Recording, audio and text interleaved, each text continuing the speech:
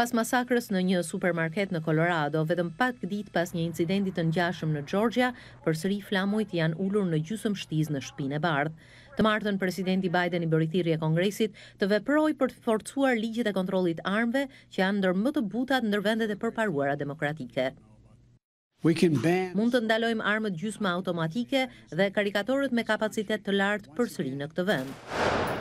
Ndalimi dhjetëvjeçar i armëve gjysëmautomatike i miratuar në vitin nëntëdhjetë e katër skadoi në dy mijë e katër dhe nuk është riaktivizuar, pasi republikanët e kundërshtojnë me forcë.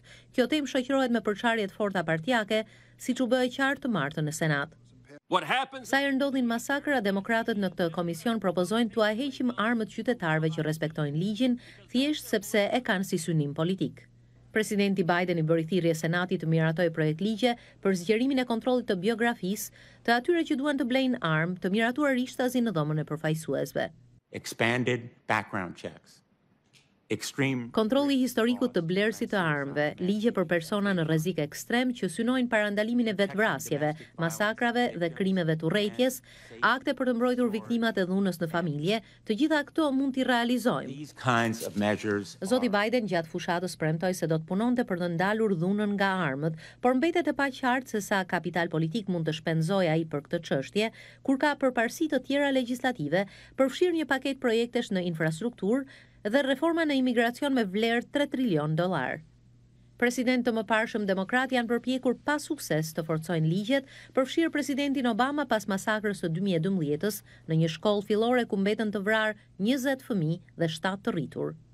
E drejta e armëmbajtjes mbrohet nga Amendamenti i Dytë i Kushtetutës. Lobi i fuqishëm pro armëmbajtjes u bën rezistencë ligjeve për forcimin e kontrolleve.